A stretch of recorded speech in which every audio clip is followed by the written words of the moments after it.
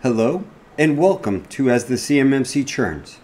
I'm Matt Titcomb, the CEO of Peak InfoSec, an authorized CMMC third party assessor organization. I'm also a CMMC certified practitioner and now a CMMC certified assessor. Today's episode is a fireside reading of Twas the Night Before the CMMC Final Rule Drop. So let's get to our story, shall we? Twas the night before the CMMC final rule drop, when all through the C3PAO, not an assessor was stirring, not even a CCP. The endpoints were secured by Intune with care in hopes that St. Bostjanick would soon be there. The assessors were nestled all snug in their beds while visions of conformity assessments danced in their heads. My wife in her pajamas and I in my cap had just settled down for a long winter's nap.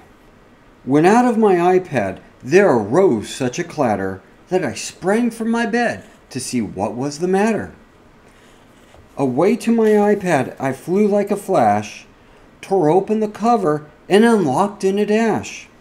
The glow of my iPad upon my face gave the luster of midday objects to all around when what to my wondering eyes should appear but a miniature sleigh and eight tiny reindeer, with an endearing driver so lively and quick, I knew in a moment it must be St. Bostjanick. More rapid than eagles, her coursers they came, with whistles and shouted, she called them by name. Now, Buddy, now, Matt, now, Kyle, and Jeff. On John, on Raymond, on Mike, on Tracy.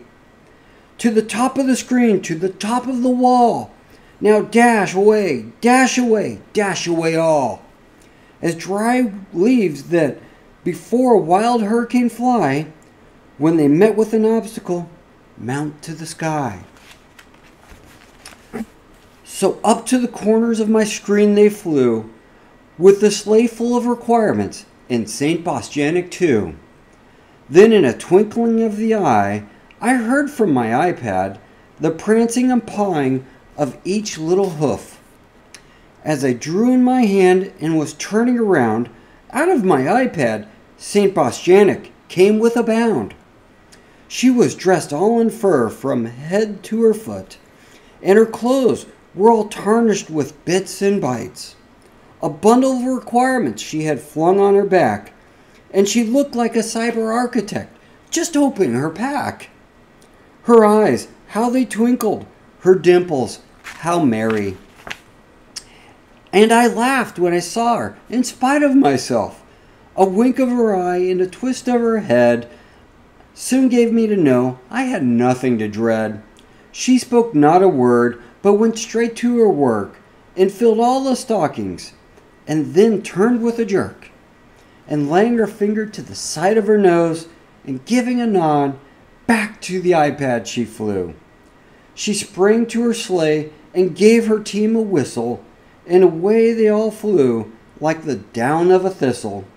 I heard her exclaim as she drove out of sight, Happy Christmas to all, and have a good night.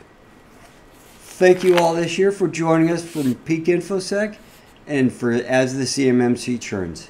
Have a Merry Christmas and have a Happy New Year. Bye.